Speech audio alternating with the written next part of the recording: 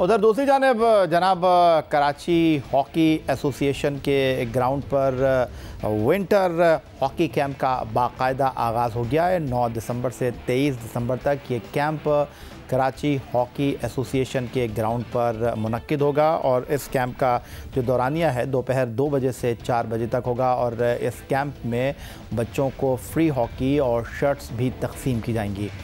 और winter hockey camp, जो Karachi hockey association के ग्राउंड पर मनद हो रहा है, इसमें ओलंपियन पाकिस्तान हॉकी का बड़ा नाम समीउल्ला साहब, ओलंपियन हनीफ खान साहब और दीगर कोचेस हॉकी के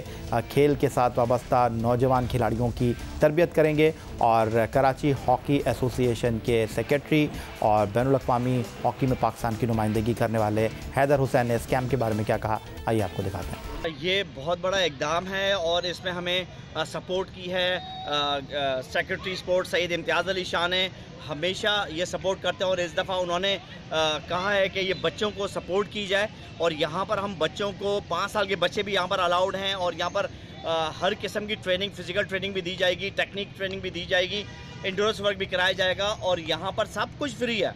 यहाँ पर आ, कोई भी चीज़ पैसे की नहीं दी जाएगी। यहाँ पर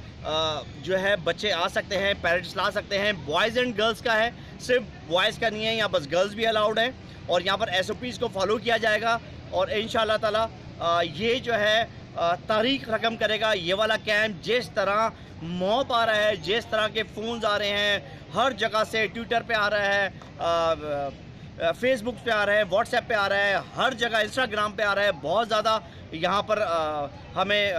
कॉल्स आ रही हैं। तो इन ताला बहुत उम्मीद है कि बहुत अच्छे बच्चे यहाँ से टैलेंटेड निकले